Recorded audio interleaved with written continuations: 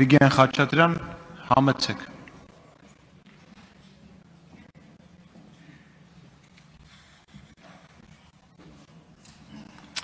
Հարգելի նախագահություն, մեծարգո վարչապետ, կառավարության ու խորհրդարանի հարգելի անդամներ ու սիրելի ժողովուրդ։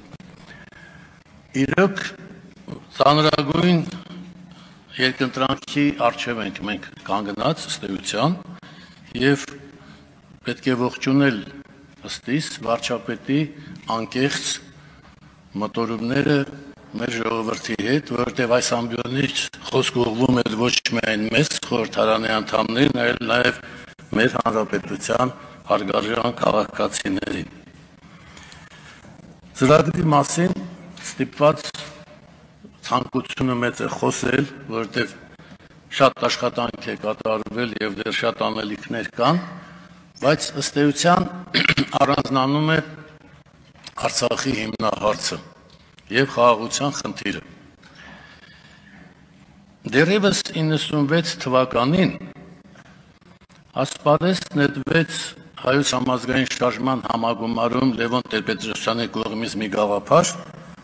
որ մեզ համար անընդունելի է մի ժողովրդի բռնի տիրապետումը մյուսի նկատմամբ եւ ըստ էության առաջ քաշվեց այն գաղափարը, որ Ղարաբաղը Ադրբեջանի կազմում ապագա չունի տարիներ են անցել եւ այսօր կարելի ասել, որ դա դեռևս ճիշտ չի եղել իմ կարծիքով։ Այն ժամանակ մենք գիտեինք, որ խորթային միության ժամանակ հարցը բարձացվեց փոխանցել Ղարաբաղը Հայաստանին, դա մի այլ խնդիր էր։ Եվ անգամ խորհրդային միության պայմաններում մենք հետևություն չարեցինք Սումգայիթից, նկատել չխորացանք Բաքվի դեպքերի մեջ հետո Կիրովաբադի Հետո չվերլուծեցինք ինչպես եղավ, որ 24 գյուղեր հայաթափվեցին Գոլցո օպերացիան գցել երիտասարդները լավ չգիտեն, բայց դա խորհրդային զորքերը արեցին Ադրբեջանի օմոնի հետ, ու մենք չնստեցինք ու չմտածեցինք, սա ուր է տանում։ 88 թվականի շարժումը բերեց նրան, որ դաշտային Ղարաբաղը հայաթափվեց։ Բերեց նրան, որ 400 կամ 500 հազար հայեր չկարողացան շարունակել իրենց կյանքը իրենց պատմական հայրենիքում։ Վերջապես բերես նրան, որ մենք ունենք Լեռնային Ղարաբաղի ինքնավար մարզի մի զգալի մասի կորուստ, որտեղ այլևս հայեր չեն ապրում։ Որտեղ մենք պիտի կանգ առնենք։ Որտեղ մենք պիտի հասկանանք մեր նպատակը ինչ է՝ հերոսաբար ոչնչանալ, թե ապրել, զարգանալ եւ հերանեկար ունենալ։ Երբ Լևոն Տեր-Պետրոսյանը շեշտում է, որ 97 թվականին մենք չգնացինք հարցի լուծմանը, որովհետև քաղաքացիական պատերազմ կարող էր լինել, ես երբեք այդ տեսակետը չեմ կիսել։ Մենք չգնացինք այդ լուծմանը, որովհետև որպես իշխանություն կորցրել էինք վստահությունը հասարակության մեջ։ Դա էր իրական պատճառը։ Եվ այսօր Այս դահլիճում նստած մեծամասնությունից է կախված վարչապետի քաղաքականությունը հաստատել խաղաղություն փսակվի հաջողությամբ, եթե ժողովուրդը շարունակի մեզ վստահել կամ հիասթափվի։ Ուրեմն մենք այնց յուրաքանչյուրն այսօր պիտի անկեղծանա։ Մենք ինչ պիտի անենք, որ ժողովուրդը շարունակի մեզ վստահել եւ մեր ծրագիրը կյանքի կոչի։ Սա շատ լուրջ խնդիր է։ 97 թվականին իշխող մեծամասնություն այդ վստահությունը կորցրել էր եւ չկարողացավ կյանքի կոչել իր առաջնորդի ծրագիրը եւ դեռ հակառակը մի գիշերում հեղափոխվեց ու անցավ այլ ճամբար սա չհնչեցնելը կլիներ սխալ ես որպես այդ ամենը տեսած մարդ ուզում եմ ասեմ որ մեզանից յուրաքանչյուրը պիտի իրեն հաշիվ տա. Մեր վարկագծով մեր պահվածքով մեր աշխատանքով համոզում ենք արդյոք մարդկանց, որ մենք իրենց շահերով ենք ապրում։ Թե իշխանությունը դարել է կոմֆորտ մի տեսակ։ Սա այս վտանգը այսօր ցցուն չի, բայց կարա առաջանա։ Մենք որպես ընկերներ, որպես գործընկերներ, պիտի անկեղծ իրար աչքերի մեջ նայելով ասենք, մենք պիտի փոխենք մեր կենսաձևը խաղաղություն հաստատելու համար Եվ ավելի պիտի նվիրվենք այն գաղափարներին, որի համար ժողովուրդ հեղափոխություն դարել։ Խոսում ենք ժողովրդավարության մասին։ Ճիշտ ենք խոսում։ Ժողովրդավարությունը ընտրությունն ու քվեարկությունը չի սոսկ, ժողովրդավարությունը մասնակցություն է, եւ մեզանից յուրաքանչյուրը պիտի իրեն հաշիվ տա,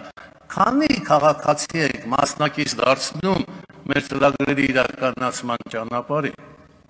Որքանով ենք մոտ կանգնած այն մարդկանց, ովքեր մեր քաղաքական հայացքները չեն կիսում, բայց նվիրված են Հայաստանին, Հայաստանի պետությանը, խաղաղության գաղափարին եւ հանդուրժում եք արդյոք մենք այդ մարդկանց թե միայն այս աչ կողմի հատվածն ենք միշտ տեսնում, որի մասին ես որոշել եմ այլևս չխոսեմ։ Ժողովուրդը վաղուց հիաստապվել է այս մարդկանցից։ Վաղուց։ Պետք չի դաս մասին շատ խոսա։ Եթե ինչ-որ մի հատ աղջնակ գալիս է այստեղ իր ներքնաշորն է ցուցադրում, դա չի նշան, որ ես պիտի արձագանք եմ իր պահվածքին անդաստիրա։ Բայց դրանցից զատ հասարակություն կա շատ-շատ մարդիկ հեղափոխության արդյունքներից գոհ են մտնոլորտ է փոխվել Հայաստանում, բայց ավելի շատ մարդիկ դեռ բավարարված չեն։ Դեռ ավելին են ուզում տեսնել։ Դեռ ավելին են ուզում համոզվել, որ այս ամենը իրենց համար է։ Ես հատուկ եմ ուզում այս թեմայով խոսեմ, որտեղ ես գտնում եմ, որ մենք պիտի առանձին մի հատ քննարկում անենք ներքին։ Ինչ պիտի անենք, որ ապահովենք խաղաղության ծրագրի իրականացումը։ Պիտի ավելի նվիրվենք այն գաղափարներին, որի համար ժողովուրդը փողոց էր դուրս եկել ու հեղափոխություն արեց։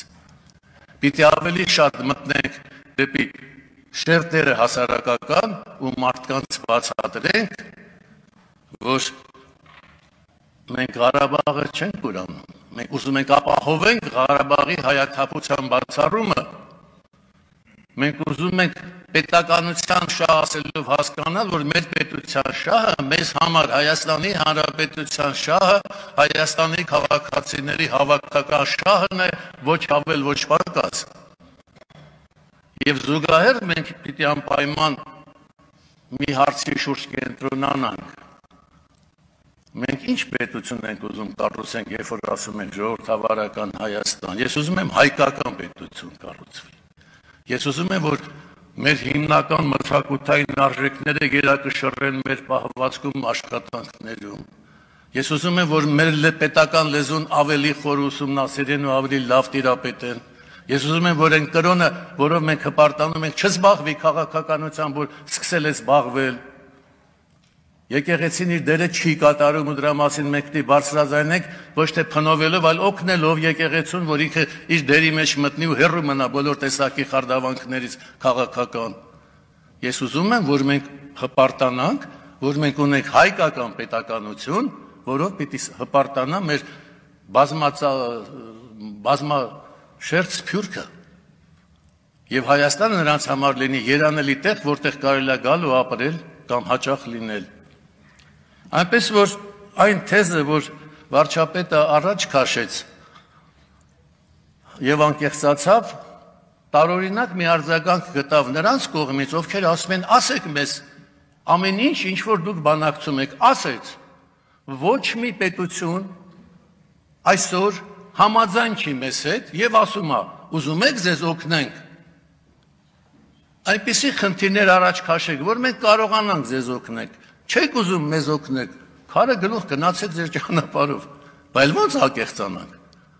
Այդ ընկերները մենակ մի բան կարան մեզ ասեն, ճիշտ չեք ասում, այսինչ, այսինչ պետությունները այդ կարծիքին չեն։ Կհասկանանք։ Էնպես որ պիտի մեջ բերեմ Վանոյի խոսքերը, երբ որ ասում էր, որ նրանք ովքեր ասում են մահ կամ ազատություն, նրանք ստանում են ազատություն, ժողովուրդները մահ։ Մենք ուզում ենք ապրի մեր ժողովուրդը։ Մենք չենք ուզում, որ մեր ժողովուրդը մահի վտակի տակ լինի։ Եվ դրա գրավականը իհարկե նման ծրագրերի իրականացումն է, որը ճիշտ մշակվել է, հետևական հետևականորեն իրականացվում է, եւ մեր խնդիրն է որպես խորհրդարանական մեծամասնություն, ուրեմն սատարել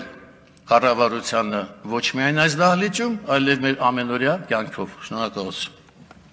Շնորհակալություն պարոն Խաչատրյան ճիշտ խոսքերի համար։